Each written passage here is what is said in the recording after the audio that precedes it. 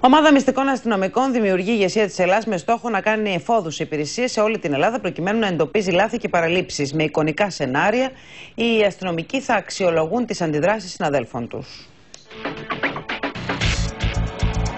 Πώς θα σας φαινόταν αν ένα τέτοιο περιστατικό το είχαν προκαλέσει επίτηδες αστυνομικοί μέσα στο θύμα της περιοχής σας για να δουν την ετοιμότητα των συναδέλφων τους.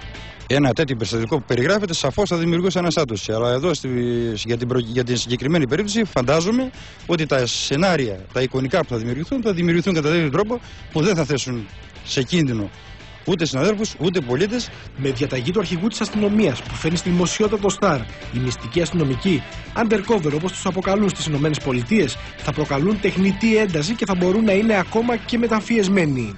Μόλις η διαταγή έφτασε στις αστυνομικές υπηρεσίες όλης της χώρας, προκλήθηκε αναστάτωση. Είναι χαρακτηριστικό ότι ένας διοικητής τμήματος αναρωτιόταν. Μα καλά, τι θα γίνει αν σε αυτά τα εικονικά σενάρια είναι παρόντες, παραδείγματος χάρη μια έγκυος γυναίκα ή ένας ηλικιωμένος και αντιμετωπίσουν προβλήματα υγείας, τότε ποιος θα αναλάβει την ευθύνη;